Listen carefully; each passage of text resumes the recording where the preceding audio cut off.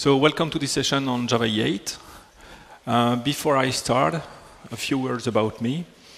Um, my name is David Delabassee. Uh, despite my French accent, I'm not French. I live in Belgium, just at the France border.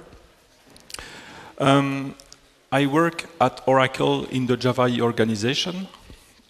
Given that I work at Oracle, I have to show you the mandatory safe harbor statement slide. So you can read it. Uh, my take on this is that you shouldn't make any purchase decision based on what I will say today. Given that, there is no Java 8 application server to buy today, so it's an advice that is pretty easy to follow. Uh, nevertheless, um, we have to keep in mind that I will talk about the futures. I mean, Java 8 is something that will come uh, in the futures. So anything that I will say today in terms of uh, schedule, uh, features, API, and so on might change. So that's something you have to keep in mind. And at the end of the day, it's the JCP expert group that decide what Java EE uh, will be exactly. So Java EE 7 was finalized, so we had to start to work on Java 8. Um, we have a lot of ideas on things that we would like to do in Java 8. Um, we are looking at the market. We are seeing some trends. HTTP2, for example, is one of the trends uh, we are observing. Um, we also have a lot of discussion with the different Java EE licenses uh, about things that they would like to do in Java EE. We also have discussion with you. I mean, when we come to conference, if you talk to us about Java EE, what is good about Java EE, what is wrong about Java EE. That's something that we take back internally, and we give that to the uh, expert group working on Java EE. So at the end of the day, we had a lot of idea of things that we would like to do for uh, Java EE 8. Now, um, when you have a list of good ideas, uh, it's sometimes useful to challenge those good ideas with a broader community. So that's what we did. We did uh, last year.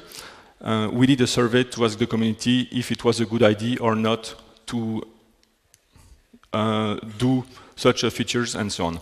And also, one of the reasons we did that survey is that our wish list for Java 8 was very long. So if we wanted to do everything we had on our wish list, we won't have Java 8 for the next five, six, seven years, which is too far away.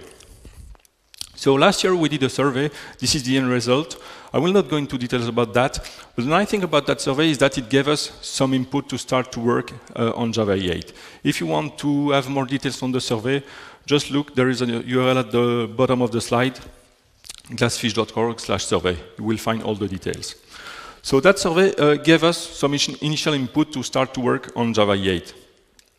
And from that we have derived uh, three teams. Uh, of, for Java 8. So as of today, Java 8 will be around HTML5 web enhancements, continue to improve ease of development so that you as a developer has to focus more on the business logic and less on the plumbing code. And finally, the third team is infrastructure for running in the cloud. So that's what I will do in the next uh, 40 minutes. I will basically try to go over those features and I will give you an overview on where we are today uh, around that. Now, uh, clearly there are some APIs, some area for which we have made more progress than others. So I will have more details to share. And for some APIs, I will just give you an overview, but I don't really have details, so it really depends. But at the end of the day, it will give you a sense on what Java 8 will be about. So the first team, HTML5 web enhancements. So we plan to do different things in that front. And when I say we, it's really the JCP exp expert group that is working on Java 8. It's not me personally. So uh, we plan to improve the JSON support that is uh, already in Java 8. We plan to add a new action-based MVC framework. We plan to add uh, support for server-sent event, and so on. So let's look at some of those. So the first API that will be updated in Java 8 is JSONP. So we have introduced JSONP in Java 7. In Java 8, we'll have JSONP 1.1. There are different things that the JSONP EG would like to do. For example, they would like to adopt new uh, standards that are emerging in the JSON space. They would like to make the JSONP API more Java 8 friendly. Um, they would like to tackle the notion of JSON big data. So let's look at some, of those some of those in more details. So the first standard I would like to do is JSON pointer. As the name implies, a pointer is basically a syntax that is used to reference a location within a JSON document. This is uh, an example of a pointer, so slash zero slash phone slash mobile. So it basically means slash zero, the first object, index zero. Then we want to have the key value pair whose key is phone, and then we want to have the key value pair whose key is mobile. So it's a pretty easy to understand standards. If we uh, put that in practice, so on the left side I have a JSON array Java object whose representation, is, the JSON representation is on the right side. So it's basically a JSON array with two uh, users, Duke and Jane. So first, I need to define a pointer. So I new JSON pointer, then I use that specific syntax, slash zero slash name in this case. So we are talking about the first object and then the key value pair uh, whose key is name. So we are talking about Duke. Then obviously I have this pointer, I need to do something with it. For example, pointer get value, um, and then I need to specify on which object I want to work on. So in this case, obviously, I want to work on the contacts object. So what I will get in return in this case uh, would be uh, Duke. So get value is one of the operations that will be supported, and there will also be an add, replace, and remove, so basically some kind of CRUDs. Uh, at the bottom of the slide, there is another example, which is um, a replace operation. So it works the same way. So we define a pointer, and then uh, on the pointer itself, we do a replace. We specify on which object we want to do the replace. And obviously, since it's a replace, we have to specify what would be the new value. Something important to notice is that the object which is returned here is a new object. Why? Because the JSON API is an immutable API. And that is there since the 1.0, and that will not change. So the second st uh, standard that will be adopted in JSON P11 is JSON patch. Again, the name is pretty obvious. A patch is basically a document that is used to transform another document. So this is an example of a patch at the bottom of the slide. So a JSON patch is a JSON document that will be used to transform another JSON document. In this patch, we have uh, two operations. The first one is a replace operation, we use the JSON pointer syntax again. And then, since it's a replace operation, we obviously need to specify what the new value will be. Uh, so in a patch, you can have one or multiple operations. The operations are, are, performed in sequence.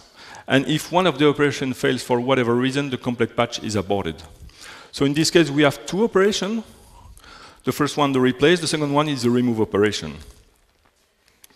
So if we look at an example, so on the left side, I have the patch, and on the right side, I have the document that I want to apply the patch to. So the first operation is the replace operation. So we are talking about uh, the object, the key value, which is slash zero phones mobile. So slash zero phone mobile. So this is basically this key value, and the operation is a replace operation. So basically, we are uh, changing that phone number. It works. So I can move on to the next operation. And the next operation is a remove operation. We want basically to get rid of that object. So that would be the end result. Now, when it comes to the Java API to use JSON patch, it will look like that. So first, we need to define a JSON patch. So this is a JSON document with one or more uh, operation. And then we just, using the patch, we just need to apply it to a specific document that we want to transform. And again, this is an immutable uh, this is an immutable uh, API. So the result object here is a new object. We don't touch the original object. So this is JSON patch, which will be part of JSON P11. Something else that has been added is this, uh, this uh, builder-based uh, API. So you don't have to effectively grow through uh, you don't have to define a JSON patch. Um, you can directly construct dynamically the patch using this API. So uh, this is a builder API. So the first operation is an add operation. Then we it's a remove operation. And obviously, at the end, we need to apply the patch um, to get a new uh, object. So it's basically an easy way to dynamically construct a JSON patch. Finally, the third standard that will be part of JSON-P is JSON merge patch. Um, the idea is a bit similar. So uh, So let's look at this example. So this is the source and this is the, the end result. So this is the merge patch. So for example, the specification says that if you want to remove something from a source, you have to use a, a null. So if you look here, we have family name do. Family name in the merge patch is null, so that means that we won't have the family name in the uh, end result. If you want to replace something, uh, for example, the title, so you just set the new value. So the original title was goodbye. Apply this merge patch, hello, so the end result will be titled hello. So it's a fairly simple and basic uh, specification that can be used to do transformation. There are some issues with that, with, with that standard. So for example, if you have in the source a null, well, uh, something uh, won't work. But nevertheless, there are a lot of use cases where this is useful. In terms of the Java API, it, will, it would work uh, the same way. Now we have JSON patch and JSON merge patch in the JSON P11 API. There is also uh, a diff API. So basically a patch is used to transform a document to another document, but we have this diff API that can be used to get the difference between two documents. And obviously at some point in time later, you can use the diff that is being produced to transform a document. And this is true for the JSON merge patch API and the JSON patch API. Something else that is part of uh, JSON P11 is uh, uh, it's more SE8 friendly. So this is an example of a query using streams and lambdas. Uh, there is a basic issue here. If you look at the return types here, it's a list of strings. So that means that we have done this query, but as soon as we get the result, we are outside of the JSON P API. So in JSON P11, we'll have specific uh, streams collectors to stay within the JSON API. So for example, here I'm using a JSON collector to JSON array. So that means that my return type here uh, is a JSON array. So I can continue to work using the JSON P API, which is obviously something important. So the JSON P11 EG have different ID. Um, everything is more or less done. I mean, they have already an early draft. The only thing that is not yet done is JSON Big Data. So they have just started the discussion on that point. So with JSON Big Data, the idea is that you might want to work with very large JSON document, say for example, one gigabyte JSON document. So that's something that um, we still want to do with the API, so they are tackling that issue. So moving on on the JSON front, uh, there is JSON-B, JSON binding. So basically uh, having the ability to do binding between Java object and JSON document. So JSON-B is uh, to JSON what JAX-B is to XML. It's exactly the same idea. So that's a new API that will be introduced in Java 8. Um, the expert group is working basically at defining the default behavior. The thing is that if you look on one side, you have the Java object model, which is very rich. I mean, uh, just look at how many ways we have to represent the dates, for example. We have many. And on the other side, we have to do the mapping, the, ma the binding uh, to the JSON object model, which is very basic. We have string, numbers, object, array, boolean, and a few others. That's all. So the specification will basically define uh, the mapping between the two directions, how it should be done by default. And you, obviously, will have the ability to override that default behavior.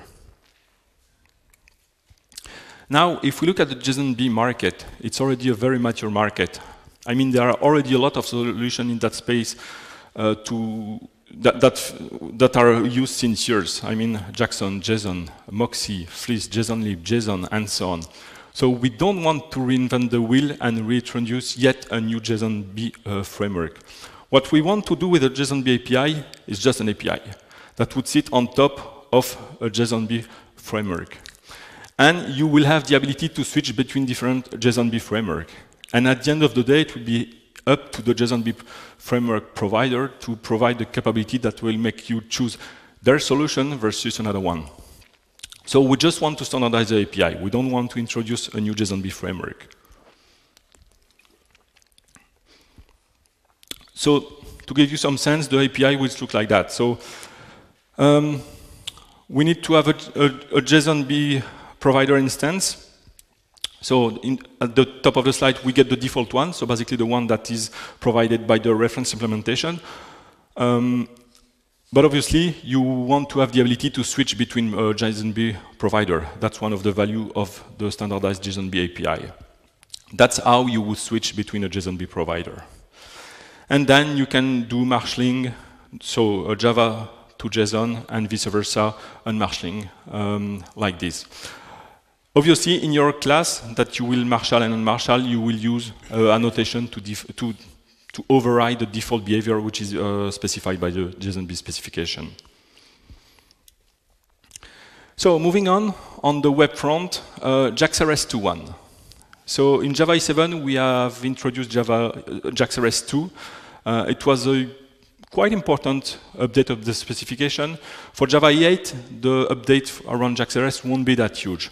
But nevertheless, the expert group has quite a few ideas that they would like to do in JAX-RS 2.1. Uh, improving the integration with CDI is one thing they would like to do.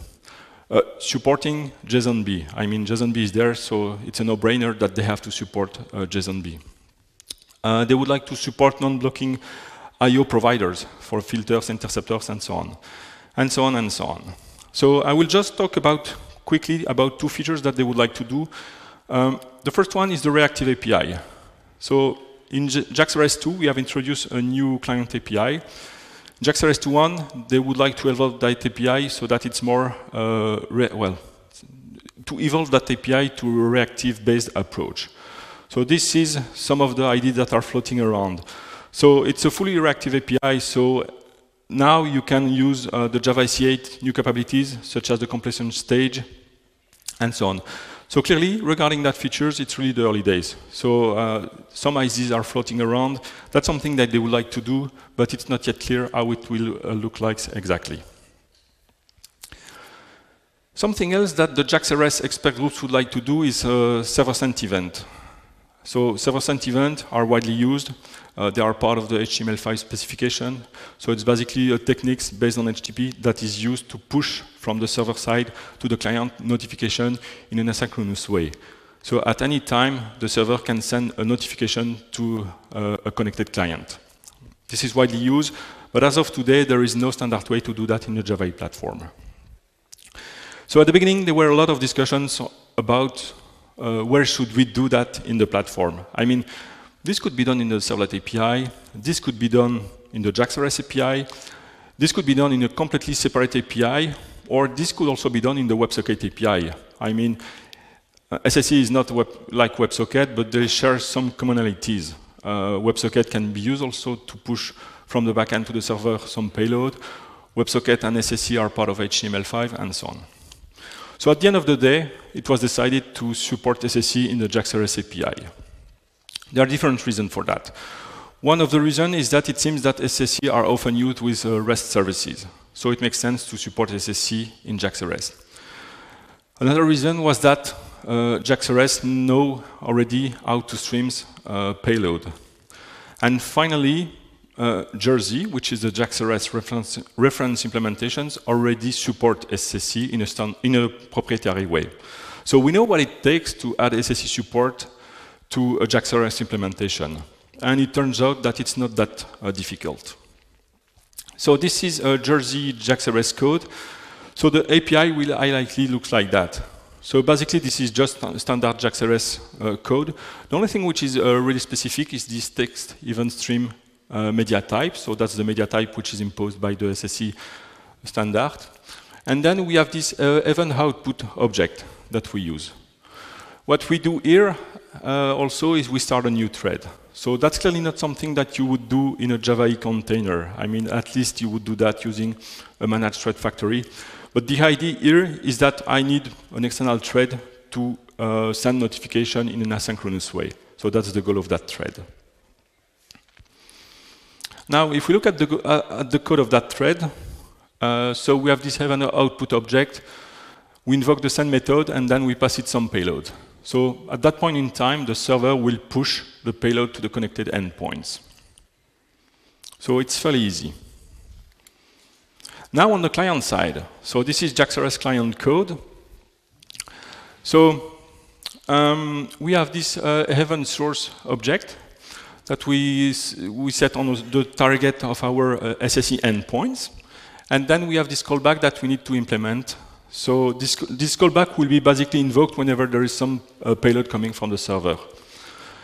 And what we should not forget to do is at the end we should do the we should invoke the open method on the event source object. So that's basically connection establishment, registering the callback, and so on.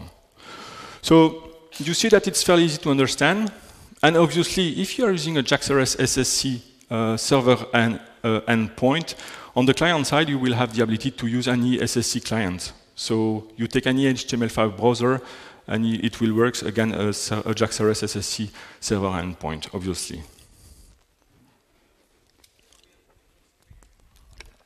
Okay. Um, the next thing I would like to talk briefly is HTTP2. Uh, I guess few people in the room have attended uh, Simon's session just before mine, just by show hand. Okay. So I will not do a full-blown explanation on HTTP2. Uh, I will just highlight some of the benefit of HTTP2. Uh, I think, and it's not on my slide, the main features of HTTP2 is that it preserves all the HTTP semantics that we know today. So we still have this notion of request response. We still have uh, HTTP verbs, put, delete, get, post, and so on. We still have the notion of uh, HTTP headers and so on. So as a developers, HTTP2 will not change a lot of uh, for you. The big deal is really happening at the layer, at the protocol uh, layer. So what is being effectively exchanged over the wire. So HTTP 1 is a text-based protocol. HTTP 2 is a binary-based protocol. In HTTP2, everything is based on binary frame. So since uh, we have binary frames, uh, that means that we can have multiple streams. A stream is basically a request response. So just think a logical connection between the client and the server. Um, in HTTP2, everything is split into frames. So in my slide, I have uh, an example of an HTTP 1.1 uh, post. So in HTTP2, that would be two frames. The first one would be the headers frames, that would include the HTTP headers. And the second frames that would be exchanged is a data frame that include the effectively the payload that I want to send. But again, for you as a developer, it doesn't change anything. It's just an optimization under the hood. Um, now, the nice thing is that since the streams, so the logical uh, connection that we have with the server are broken into frames, we can have multiple streams with the server. So that effectively means that we can have multiple streams, multiple logical connection with the server over a single TCP connection. And the fact that we can have those multiple streams is really one of the big advantage. That was really one of the bottleneck of HTTP 1.1. One of the features that is provided by HTTP 2 is server push. So the idea is the following. So the server is requesting uh, a file. So in this case, the server is requesting, is requesting index.html the server, sorry, the client is requesting index.html. The server knows that to render that file, uh, the client will need the style sheet and it will need uh, pictures. So the client will highlightly ask for those files in a very short term. So the server can decide to proactively push those resources even though they haven't been asked yet by the client. So the server will tell the client, okay, I'm about to push you this style sheet, I'm about to push you these pictures. And obviously, the server at some point in time will also push the data which has been asked in the first place. So in this case, the index.html. So server push is really about giving the server the ability to proactively push some resources based on an incoming request. It's not a replacement for SSE, it's not a replacement for WebSocket, uh, it's different. And as of today, there is no JavaScript API, for example, uh, for server push on the client side. So that's HTTP2. Um, we would like to add HTTP2 uh, to Java 8. That will be done in the Servlet API. So one of the big deal of the Servlet 4 API is adding support for uh, HTTP2. Now, if you look at what features need to be exposed to the developers, I mean through the API, there's not that much. For example, the fact that HTTP2 is a binary, is using binary frames, as a developers, you don't really mind. That's something that is fully transparent. So, server push is clearly the only features at this stage that will be exposed through the Servlet API. Um, this is one of the proposals floating around for the servlet push in the servlet API. It's based on the Jetty push builder API. So it might evolve. Uh, it's a bit early to tell what it will be. but that is one of the proposals that is floating around. Something else that we will do in um, Java 8 is adding a new action-based MVC framework. So today we have JSF, which is a component-based. We want to provide an alternative uh, to that. So it's not about replacing JSF. It's just, it's just about providing more choice. And the idea with that framework is to try to leverage as much as we already have in the platform. So for the controller, it was decided to leverage JAX-RS. So this is basically an MVC controller. And if you remove that add controller annotation, which is a new annotation that we are introducing, this is just JAX-RS code. So in this case, this is a controller that whenever a user is hitting that controller, it will be sent to that view. In this case, this is a reference to a view, it's a JSP page. We can put the add controller annotation at the class or at the method levels. We can use this new add view annotation to specify what the view uh, needs to be. Uh, in this case, this is a markdown-based view. Um, we can, instead of doing that, so using the annotation or returning directly a reference to the view, we can return a viewable. It basically gives you the ability to control, to have more control on how the view should be rendered. Or we can uh, just uh, return a JAX-RS response. In that case, the entity type will be a reference to the view that needs to be rendered. And again, this gives you the ability to control uh, how the view should be rendered. So in this case, we want, for example, to set the HTTP status to bad request. For the model, again, we don't want to reinvent the wheel, so CDI is an obvious choice. Now, we have two ways to reference, to define the models. Uh, whenever possible, so we would like you to use CDIs, but there are some use cases where CDI is not available. For example, you take an external template engine that is not CDI capable, then we need something else. So that's why we have this new uh, JavaX MVC models interface. It's basically a fallback mechanism for the models. This is a model, uh, an MVC model. It's based, on it's based on CDI, so there's nothing new there. This is another models using the models interface-based approach. So we first inject the models, then we put stuff in the models, and obviously in our view we'll have the ability to get uh, what has been put in the models. So you see that it's a fairly simple approach. So the view, for the view, is basically how the user interface should be rendered. Um, we already have in the platform two technologies, that is Java Server Pages and uh, Facelet. And remember, we don't want to reinvent something. So we think that it makes sense to support those two, but we also understand that people might want to use something else. So out of the box, we support JSP and Facelet, and we also have an extension mechanism that can be used to do something else than JSP and Facelet. So this is a view uh, in this case, this is a FreeMarker view.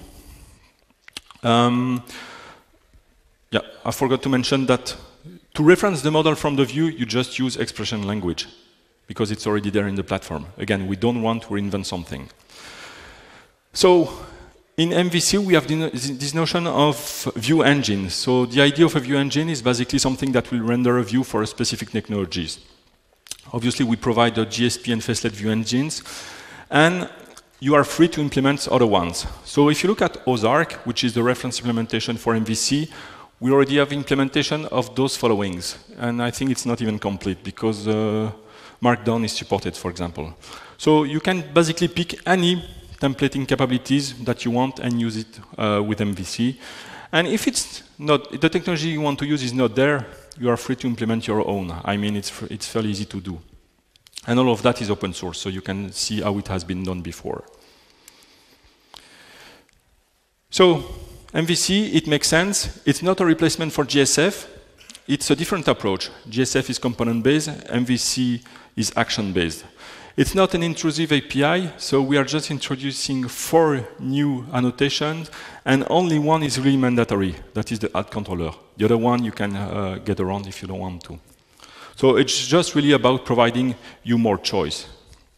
It's clearly not, uh, not about replacing JSF.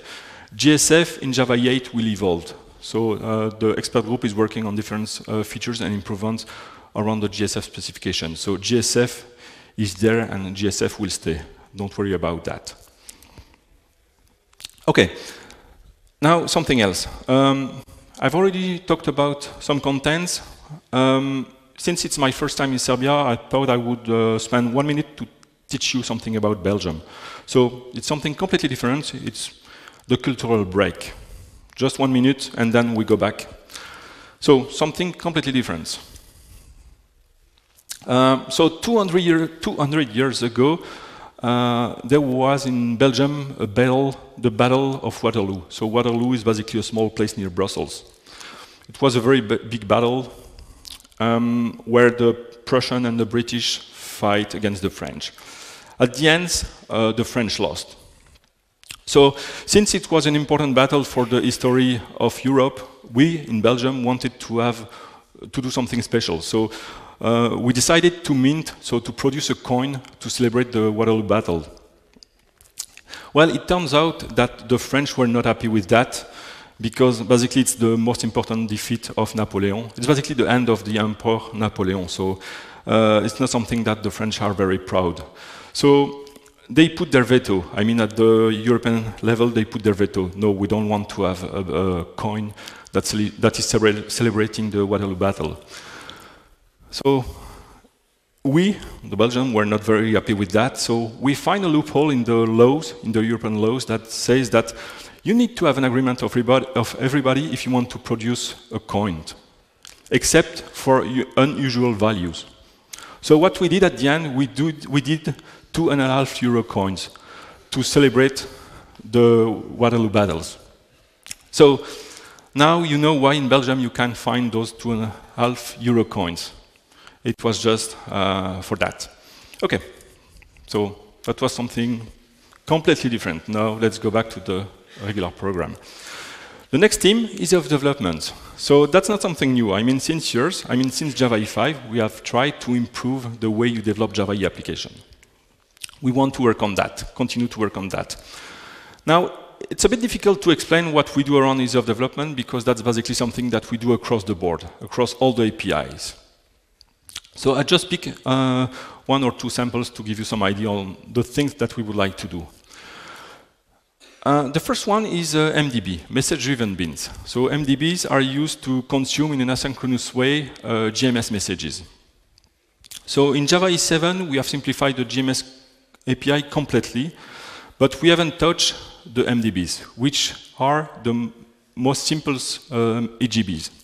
But nevertheless, this is uh, MDBs today, so you see that it's still a bit old school.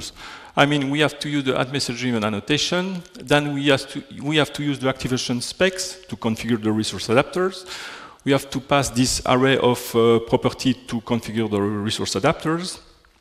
We have to implement uh, this uh, listener interface. We have to implement that method with that specific signature, and so on, and so on, and so on. So that's clearly something which is a bit old schools. So in GMS1, we would like to introduce what as of now called flexible MDBs. So flexible MDBs are still MDBs, but they are uh, meant to be easier to develop. So there are still MDBs, so we still need these administrative uh, annotations. We still need to implement this interface. It's a marker interface, so this might change. But what we are doing here is that we are using this new AGMSQ listener annotation on the method to specify that this method is uh, the callback that needs to be invoked whenever there is uh, some message coming on that specific queue. So if you compare that to that, I think you will agree that this approach uh, is more simple.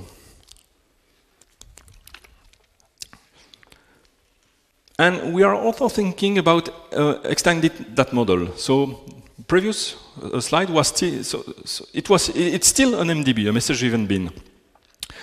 But why shouldn't we try something like that? So the idea would be to let any uh, managed beans consume uh, payload coming from a JMS queue.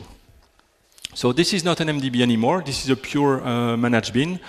We have the, this, uh, the same annotation at JMS queue listener, and that, MD, that method will be invoked whenever there is some payload coming in. So we are not replacing MDBs. We want to simplify MDB by introduce flexible MDBs. But we, maybe we also want to go to that models. And there are pros and cons why you want to do one versus the other one. For example, the way transactions are managed in, uh, in this approach is different than in MDBs. MDBs are pooled, CDI beans are not pooled, and so on. So there are differences, there are pros and cons, but why not provide the two? So this is something that is being discussed within the expert groups. So moving on, regarding simplification, it would be unfair to talk about simplification without uh, discussing uh, CDI, context and dependency injection. Because CDI is really the key technology that we have used through the years to simplify uh, how we develop Java EE application. So the CDI expert group has different things in mind for CDI 2. The first one is modularity. So if you look today, CDI, it's already a quite uh, large specification, which is okay. But when it comes to environments such as uh, Java SE, it might be an issue. So if you want to use CDI in Java SE, you have to take everything. It's a whole or nothing approach. So what they have in mind with CDI 2 is to try to split the specification in two, having a CDI SE version, and then based on that, they would have a CDI EE version. And obviously that would help the adoption of CDI outside of the Java EE ecosystems. Something else they have in mind is to standardize how they can bootstrap in a standard way a CDI container. Something else for CDI 2 is uh, asynchronous event. So right now, I mean, since CDI 1.0, there is an event-based mechanism that is used to, it's basically an implementation of the producer-consumer patterns. So this is how it works. So on one side, we have a producer, and on the other side, we have a consumer. This is the producing side, so we inject an event of some type, and then at some point in time, we invoke the fire method on that uh, event type, and that will fire an event. On the consuming side, we have this. So we have a method and to specify that this method needs to be invoked whenever that guy is firing an event, we just need to use the at observes annotation. And uh, that observer will be invoked. So we can have one or multiple observers, but the thing is that the observer will be invoked in the same thread. So it's a fully synchronous uh, approach. For CDI2, they would, they would like to add asynchronous capabilities. So it would work like that. So instead of firing, we do a fire and async. What we get in return is a completion stage of Java SE 8. So this is the producing side.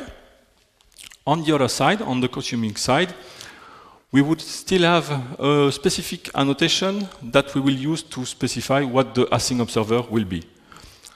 So at observer async, uh, this is an async observer. And obviously, uh, so the, the call of that observer would be done in a different thread. So it's fully asynchronous. And obviously, I can then use the completion stage that I get here, for example, to get uh, the result from my observers or to get the exception that have been produced by the observers, and so on, those kind of things. So this is something uh, which will be added to CDI2.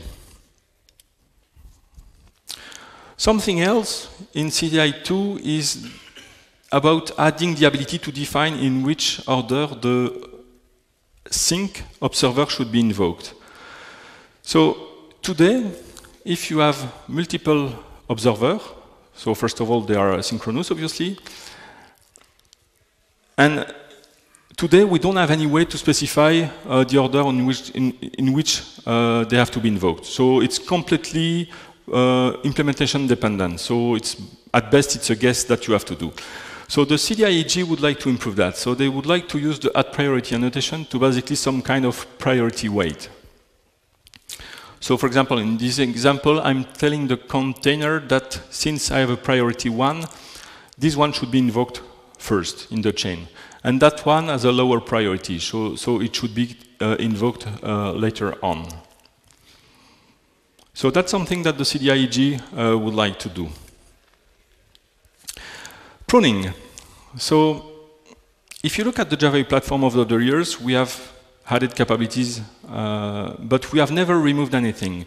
So at some point in time, we decided that maybe it would be time to remove stuff that are not necessarily used anymore or that have been replaced by other technologies uh, in a more modern ways. So this is what pruning is about. Pruning is basically a simple and elegant way to tell users that we are thinking about removing stuff from the platform. So it's a phased approach. So we basically first put a flag on the platform to say that, on an API, sorry, to say that, okay, this API uh, looks old, so it might be removed in the future. So if you can, uh, avoid to use it. In the next version, uh, we put another flag say, saying that this API is now optional, so now it's really a time uh, to look at something else. And then obviously, in the next version, we remove it. So people have been warned. I mean, they have several years to move away uh, from those old technologies. So part of the simplification effort we want to do for Java EE is also remove some of the old stuff which are not used anymore. So for example, in Java 8, we might want to uh, mark Corba as optional, those kind of things. So this has still to be decided by the Java 8 expert group. But we want to continue to work on that effort. So that was a very short overview of ease of development. Now, let's talk about the final team, which is infrastructure for running in the cloud. Um, this team is not about defining a cloud-enabled version of Java. It's really about uh, improving some of the capabilities of the platform so that Java can be used in a more elegant way in cloud-based environment. And at the, at the end of the day, those new features, those new capabilities will also be something that you will likely leverage in more traditional on-premises uh, deployment. So, um, at this stage, there are two uh, JSR, so two Java specification requests regarding that team. The first one is Java EE Management 2.0. So if you look at uh, the platform, we have a very old JSR, uh, which is JSR 77, uh, J2EE management. You can just tell by the number, by looking at the number 77, I mean now we are in the 360 range. So it's a 12, 14 years old JSR. It's a very old, uh, very old stuff. But the idea is to take some of the, the concepts that are in that JSR. So basically, it explains how to manage in a standard way a Java containers and revamp those, put those concepts in a more modern way. For example, it would be nice if we can add a REST interface on top of that so that you can easily manage a Java container using a REST uh, interface. And for example, if we would have REST capabilities and in Java uh, REST will be SSE enabled, we can then imagine the container to push notification through a management platform using SSE, those kind of things. So those are some of the ideas of that expert group. Uh, for that expert group, it's really early days, so they haven't made a lot of progress yet, so it's a bit hard to exactly uh, give more details at this stage. Now, moving on, there's another G new JSR, which is called Java Security, uh, JSR 375, I think. Um, they have a huge task, because if we look at the Java platform, I mean, we have security concept across the platform. But the thing is that uh, there are some gaps between uh, all those different uh, security concerns, uh, sorry, security uh, features. So when it comes to uh, deploying a secure application, you sometimes have to use application server specific features or use third-party library and so on. At the end of the day, this really uh, reduce the portability of the application. So that's something that that, GS, that JSR would like to improve. Uh, we can make sure that we can uh, write and deploy uh, in a standard way application with all the security capability that are required today. So for example, one of the things they would like to do is to add uh, the concept of identity, identity store. Today, there is no standard way in the specification to manage users. So that's something that they would like to address. To address. So for example, the, in these slides, we inject an identity, identity store. It could be an LDAP store, it could be a JSON file store, it could be a memory uh, store for development, and so on. Then we use this credential object. Um, in this case, it's a username password credential, but it could be a token-based credential, it could be a certificate-based credential, and so on. And we use that basically to validate the users. So uh, is, is the authentication of that user really valid? If yes, we can then uh, get and fetch uh, attributes of that users, and so on. So today you can already do that. The thing is that sometimes you have to pick here and there's capability uh, outside of the platform to achieve that goal. We would like to standardize that. Something else that, that JSR would like to do is uh, the notion of CDI interceptors. So the idea is that you will use CDI annotation to basically protect your code. And obviously, that interceptors will need to have visibility on the domain uh, application it's running in. So for, for example, this method, transfer funds, uh, well, you can only transfer funds if you have if you're a manager and you can only do that during uh, office hours. Another example, get the salary of an employee. You can only do that if you're a manager and if that particular employee is one of your direct reports. Those kind of things. And something else that they are also thinking is about adding the ability to externalize those rules in a rule stores, let's call it like that, so that you can easily re uh, reuse across your application and your deployment those rules. So this is some of the things that, that JSR is working on. Um, REST authentication is something they have in mind. Password aliasing is also something else that they have in mind. So it's not exactly clear what will be there for the 1.0 uh, version. But, uh, well, we'll have to wait and see. So, quick recap. Three teams for Java 8. Uh, HTML5 web enhancements, ease of development, and infrastructure for running in the cloud. And something important is that whatever we do, so whenever we touch an API in Java 8, we have to make sure that we try to leverage Java SE 8 because Java 8 will only run on top of Java SE 8 and more. So if you haven't moved yet to Java SE 8, now it's a good time. So today, we have 11 JSR, so 11 specification which has been formally uh, started. So there is an, an expert group working on, well, there are 11 expert groups working on the specification. The one in red are the ones which are already in early draft. So you can already download the specification, you can download the reference implementation, play with it, and so on. We expect to have a more uh, update following. For example, IBM, which is driving JSR 352, so the batch API for the Java platform, they have announced that they will they are kicking start they are kickstarting sorry the batch API 1.1 uh, effort. Uh, Bean Validation, the spec lead has, told, has said that they are thinking about doing a Bean Validation 2.0 and so on. So really today it's just the beginning uh, of that. In terms of roadmap, um, we would like to have um, well, we would like to be in early draft Q3 uh, 2015, which is now. So uh, not everything is there yet, but the idea is that we would like to be a final release by the first half of 2017. Now you can help us. You can either join the JCP. So if you think that, for example, you have good knowledge of HTTP2, it might be useful that you join the Servlet 4 expert group. But it takes a lot of time. So if you don't have that time, another way of helping us to shape Java 8 is adopt a JSR.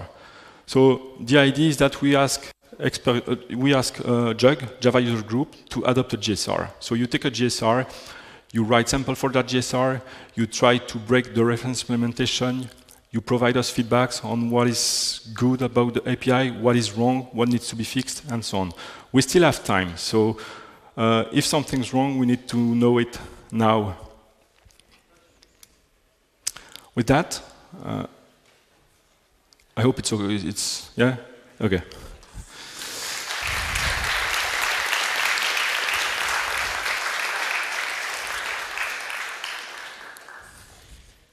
So, oh yeah,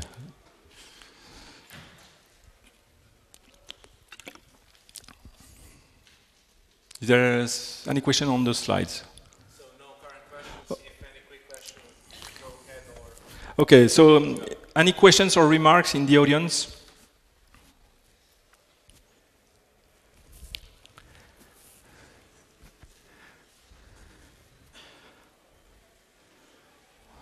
No? Well, can we go back to the slide then? Yeah. Yes. What, what is what? The, which? Uh, stateless? The status of which? JSF? The status. Yeah. So, uh, well, as I told you, uh, so uh, uh, for Java 1, so in three weeks from now, we'll have an early draft of the JSF update. So, uh, for example, in, in the update, they have improved the CDI uh, integration. So now you can inject a lot of, using CDI, you can inject a lot of the uh, CDI artifact, those kind of things. So clearly, if JSF is there and JSF will remain. So we continue to work on JSF. You shouldn't worry about that.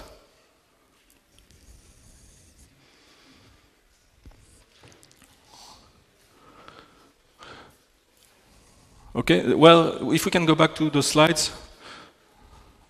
So this is a picture that uh, was taken at a conference uh, earlier this week. So if there is more, no more questions, I will leave you with that one.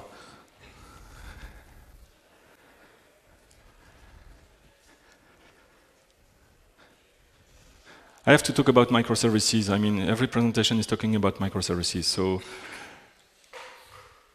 the takeaway is that, uh, well, microservices, there are a lot of good ideas, but maybe the reality is in between. So, and I think that slide summarizes that very well.